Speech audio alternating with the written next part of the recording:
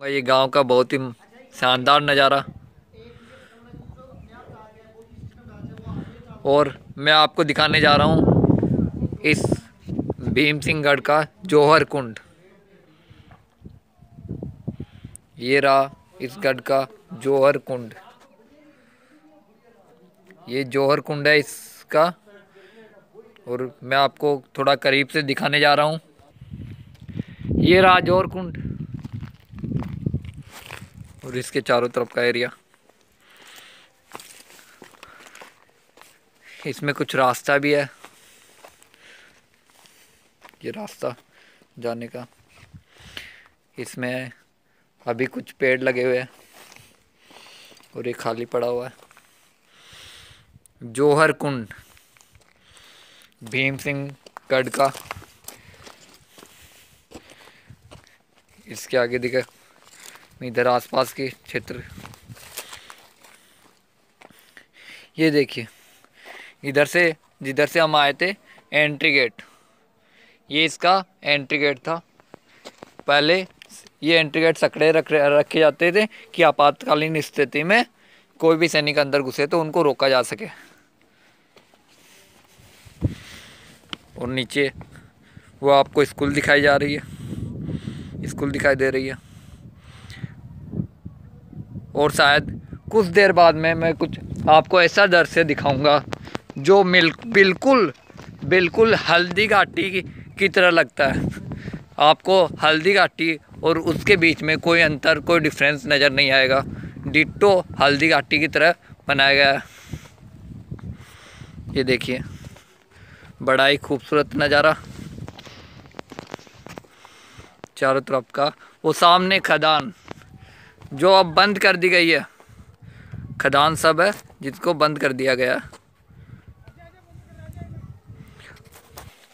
यहाँ पे कुछ अंडरग्राउंड टैंक बने हुए हैं, जैसे मैं आपको दिखाता हूँ।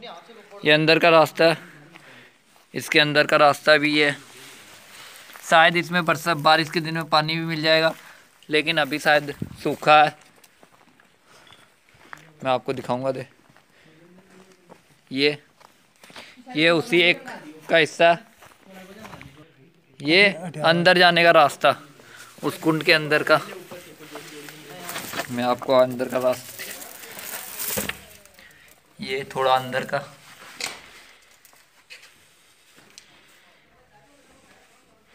देखिए, ये कुंड जो अंडरग्राउंड कुंड बनाया गया था, और इधर से अपन आए।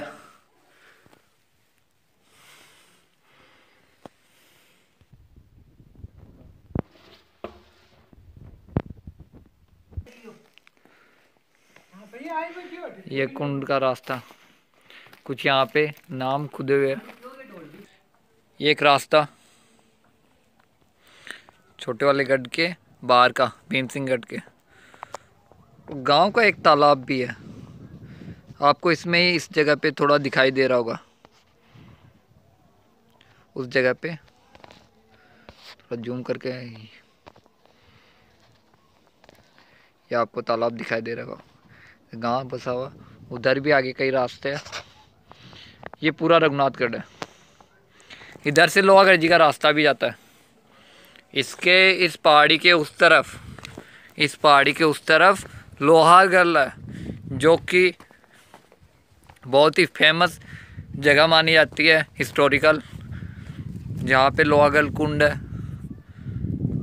कच्ची केरिया भी वहीं पे होती है, जो कि काफ़ी फ़ेमस है पूरे इंडिया में। ये हल्दी घाटी का नज़ारा मैं आपको दिखाने जा रहा हूँ। शाम हो चुकी है। लेकिन ये रघुनाथगढ़ की एक इकलौती ऐसा रास्ता है जो बिल्कुल हल्दी घाटी की तरह लगेगा आपको। मैं आपको और भी वीडियो दिखा सकता हूँ। बिल्कुल हल्दी घाटी के पत्थर की तरह। जैसे हल्दी घाटी का वैसा ही कुछ है। देखो, आप देख सकते हो दोनों तरफ़ का रास्ता। बिल्कुल हल्दी घाटी की तरफ़ का। और ये रास्ता है। और देख आगे चलते रहिए। यहाँ पे कुछ फ़ोटोज भी हो रहे हैं।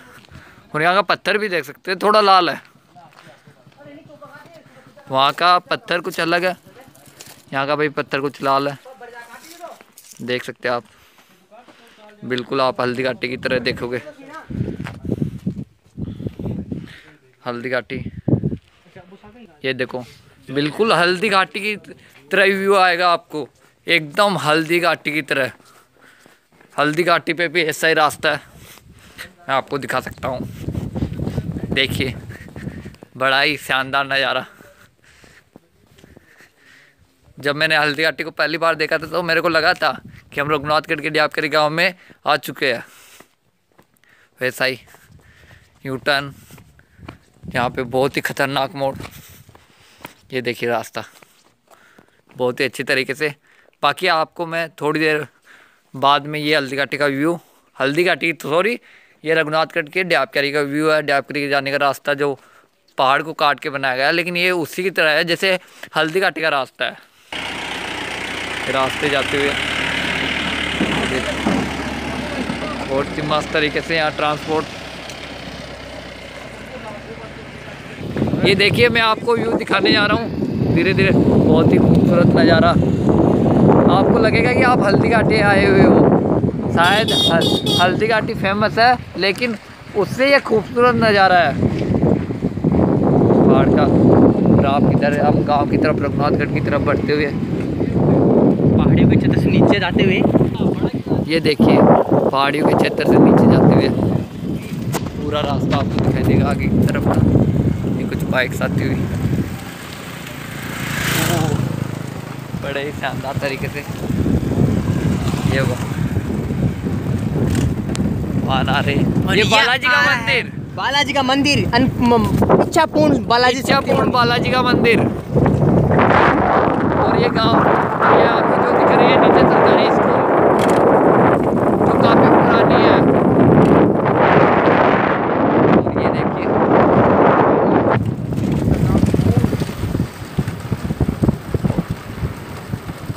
आपको देख सकते हैं हैं आप पैदल लोग भी मिलेंगे आपको।